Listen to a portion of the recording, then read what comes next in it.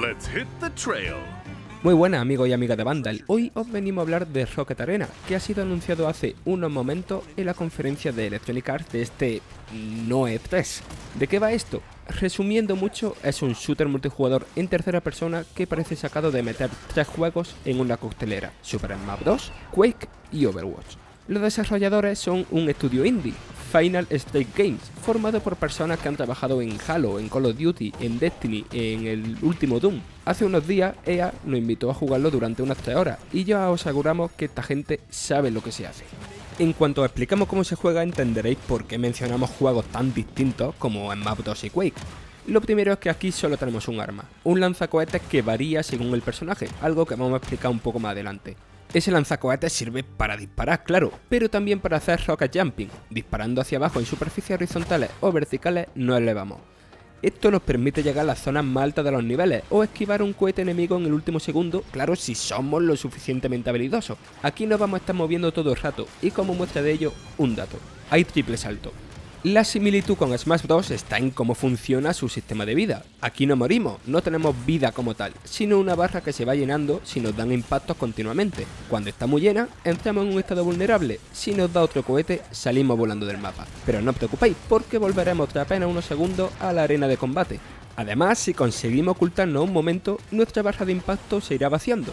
Los parecidos con Overwatch son evidentes, esto es un hero shooter. Hay varios personajes, cada uno con sus habilidades y aún más importante, con su cohete característico. El lanzacohetes de Jaito es bastante estándar y no obligará a calcular el tiempo que tardará en llegar el cohete al enemigo que está volando sobre nosotros.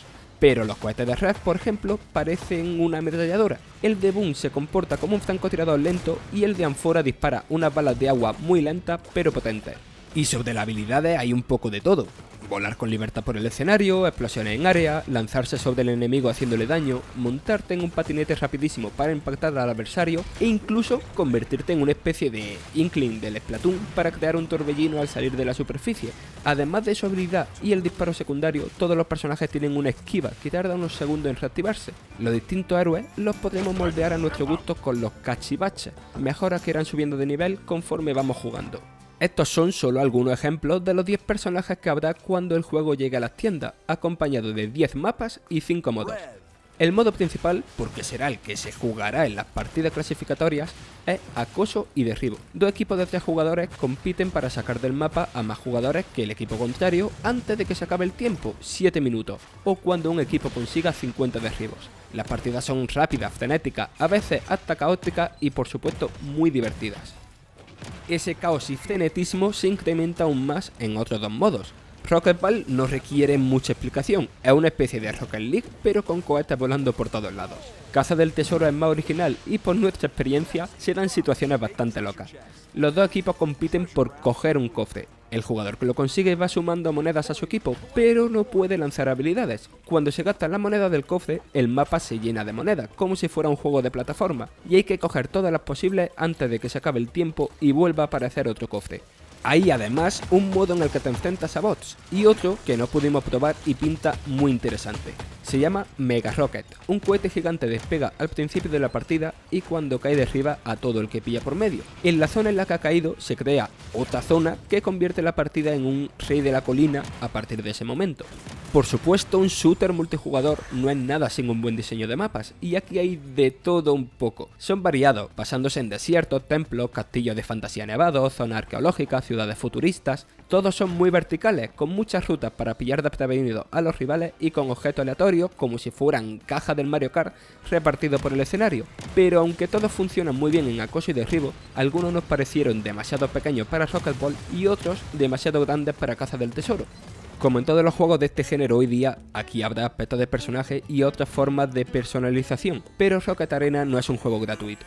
El título costará 30 euros y habrá una versión de 40 euros con más elementos cosméticos. Lo que sí será gratuito será todo el contenido jugable que vayan incluyendo, modos, personajes, mapas y otras cosas. Se podrán comprar aspectos con dinero real, pero también desbloquearse con la moneda que ganamos jugando. Y como era previsible, tampoco faltarán los pases de batalla, pero repetimos, todas las novedades jugables serán gratis para todos.